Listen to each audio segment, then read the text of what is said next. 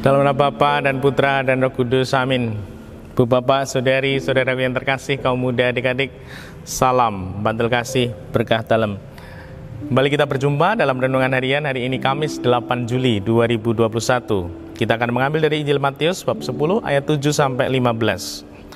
Pada waktu itu Yesus bersabda kepada kedua belas muridnya, Pergilah dan wartakanlah kerajaan surga sudah dekat.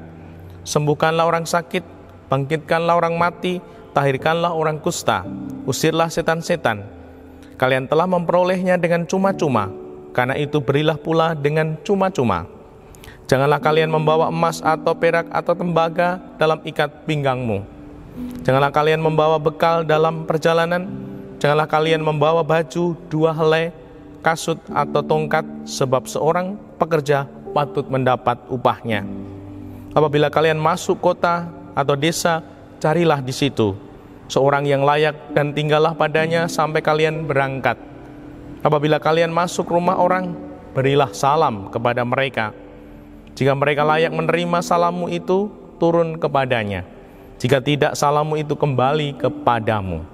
Dan apabila seorang tidak menerima kalian dan tidak mendengar perkataanmu, keluarlah dan tinggalkanlah rumah atau kota itu dan kebaskanlah debunya dari kakimu.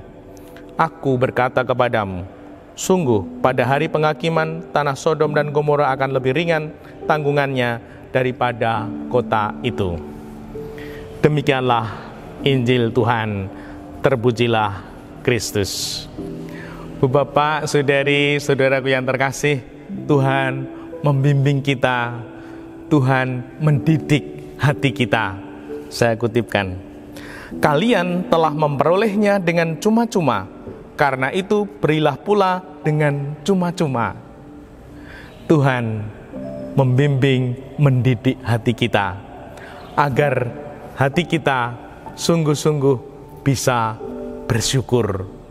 Kita sungguh merasa terberkati dan kita diundang Tuhan untuk menjadi berkat. Telah menerima banyak berkat secara cuma-cuma dari Tuhan, semoga kita mampu untuk memberikannya berbagi secara nyata untuk sesama. Terlebih di masa pandemi ini, kemarin ketika Kudus meledak, kekurangan oksigen. Oksigen kalau untuk manusia Sungguh cuma-cuma kita mendapatkannya. Dan ternyata kalau harus beli, kalau harus mengupayakan, sungguh itu tidak mudah.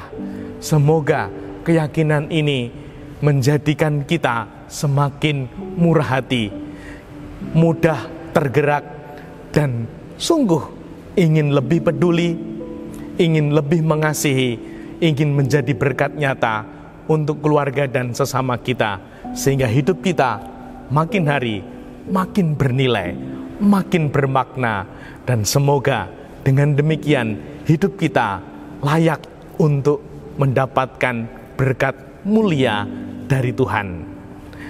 Dimuliakanlah Tuhan kini dan sepanjang masa. Salam bantul kasih, berkah dalam. Dalam Bapa, Putra, dan Roh Kudus. Amin.